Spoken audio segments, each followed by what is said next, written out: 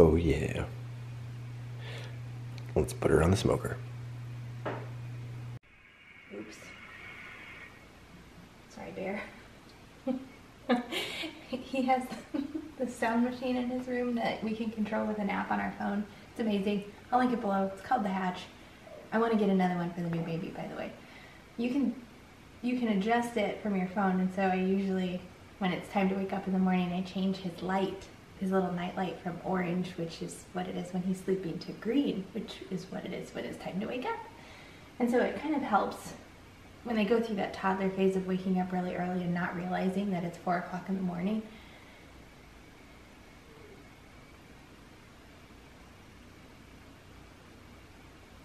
It helps like what give them a like a signal that it's time to wake up versus it's still nighttime. So I just turned his light on and I was changing it to green and turning it bright. and instead I blasted the sound.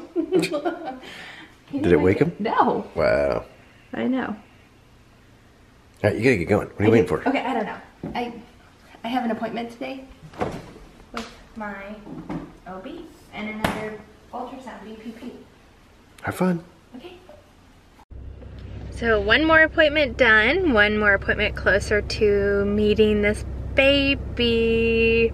Uh, so I'm 36 weeks and five days today, so almost 37 weeks. I'll have an appointment next week when I'm 37 weeks, and then the following week when I'm 38 weeks, and then that Friday I turn 39 weeks, and that's the day of my C-section.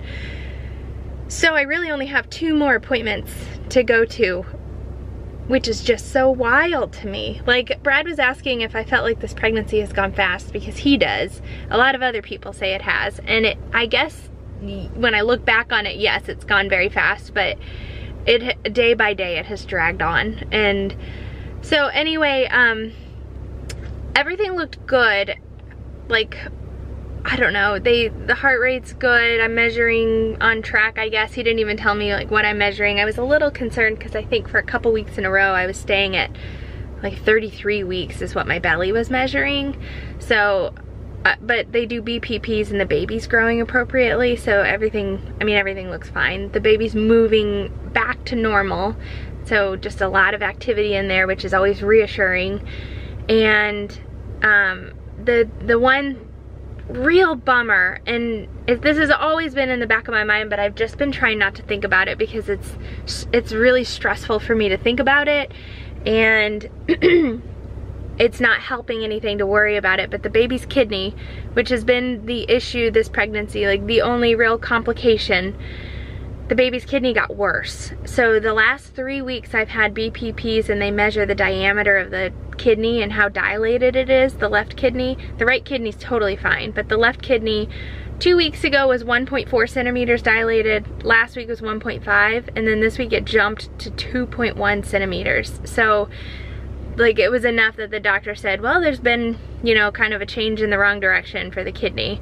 And it's just a bummer. It's like, I'm so excited to get this baby here, but then at the same time, I'm dreading this series of events that will happen when the baby's born. Like, we're gonna have to take the baby to Columbia and get a catheter test, dye test done. Like, I'm just not looking forward to any of that, and it's sort of taking away like the joy and the anticipation of the birth of this baby because it, I'm just not looking forward to doing that stuff. And it's just gonna be hard to watch my baby go through these procedures, even though they've reassured us that like the baby doesn't really care. Like it's not bothering them. You know, they get a little chilly and they start crying. So catheter, I, I don't know. It's, it's gonna be fine. Everything's gonna work out fine. It's just a damper on things, I guess. And it could be much, much worse. And I'm totally recognizing that we could be facing imminent surgery when the baby's born, or it could be a heart issue, or some some vital organ that there's not two of and we have a really good scenario with having one kidney that's possibly not functioning well when we have a perfectly healthy second kidney. So anyway it was just kind of a bummer. Um, I also asked, like my mom and my aunt are both really interested in being in the room, my Aunt Laurie, in the room when the baby's born for the C-section and I asked if he ever has like an exception to one extra person being in the room like obviously Brad will want to be there.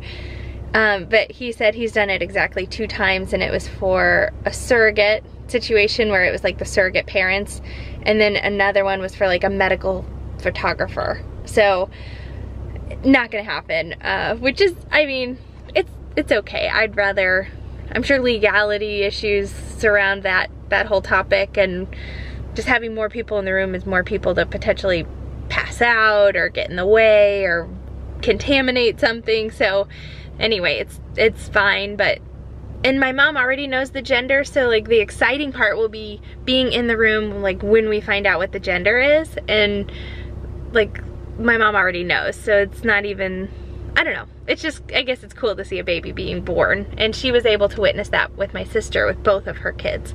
So uh, so anyway that was today's update appointment. I'm going to film I turned 37 weeks on Friday. So I'm going to film my second to last pregnancy update this weekend. And I have a couple of things I'm going to talk about. So look forward to that. That will probably be posted sometime this weekend. And I'm going to go home to my babies right now. So we have a lot going on around here. Things have officially started with the addition to the house.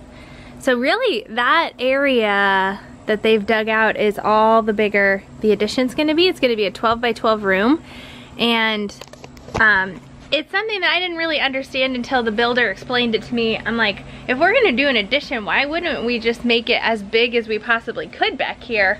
And he said that this is the size it has to be so that they don't have to change the pitch or the peak of the roof.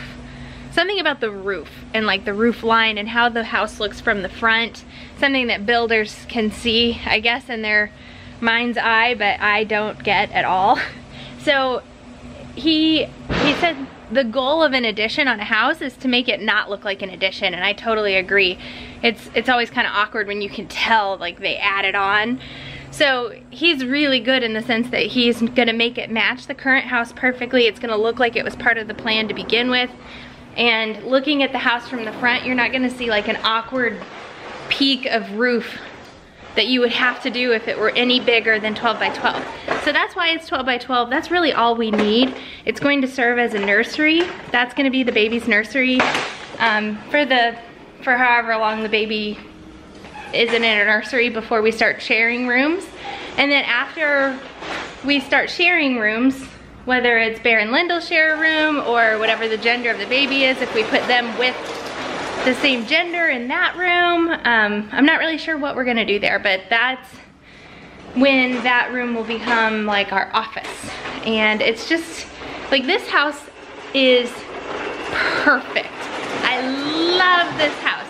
It like, it's, it's so interesting. When we were looking at houses and we were like, deciding we need to get out of my parents' house before this baby comes, that whole, if you guys have been following us for that long, that was quite the ordeal, but when we walked through this house from the get-go, it felt right for me, and it's hard to explain other than the fact that it just felt right. We're mowing, doing a little mowing in the living room. It's, I just love how, and we've never really done an official house tour, but I feel like it's really, it's a small house. There's not much to tour. So we've got Lyndall, Bear, our room. Um, this is their bathroom that they take baths in and stuff. Really, that's all we use that bathroom for. Hi! And yeah. So it's we're all right here together. And now like the baby's nursery is gonna be just right off of our room, which will be totally perfect.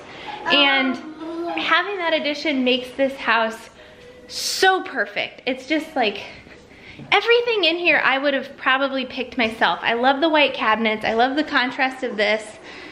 I love the pulls on the cabinets. I love the backsplash. Just I love it. I love the layout. I love the porch. The porch is really big. It's It just serves our family so well for this stage. I love the walk-in pantry. Um, I love that the garage is not super garagey. Like they have the floor finished so that like when we're barefoot out here, it's comfortable. It's not like a, and it, you can heat and cool the garage too. So like I don't, I don't know if we'll end up pulling our cars in here, but we love it as like an extra space to play when the weather's not perfect outside, which I'm sure we'll spend a lot of time out here in the winter. I just love this house. I'm so thankful that it all worked out and that we ended up getting it because it's just perfect for us. So having this addition is gonna be, Boo Bear.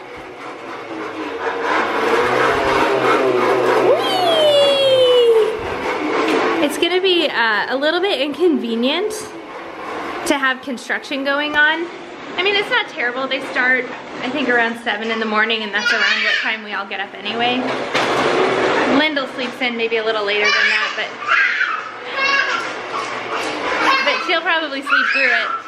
Uh, so other than being a little inconvenient for the next seven or eight weeks, it's gonna be worth it. And then it'll be really fun to decorate as the nursery, which I haven't figured out like what theme I wanna go with. I'm gonna have to wait and see.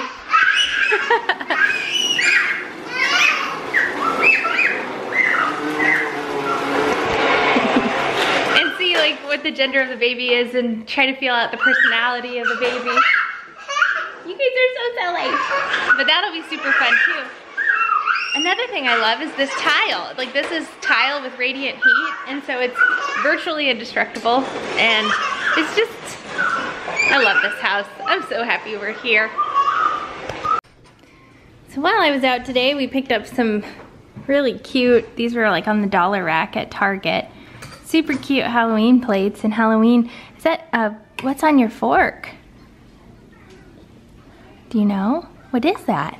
Is it a ghost? Ooh. And Lyndall June, what's on your fork? Oh, is it Frankenstein? Frankenstein. You want to try to get your avocado with your fork? Looks like you've got your hands full of utensils. Maybe just one at a time. Let me take, take that one out. Let's try, try just this one to stab it. You probably won't need your spoon for this meal, actually. I think you'll just need the fork.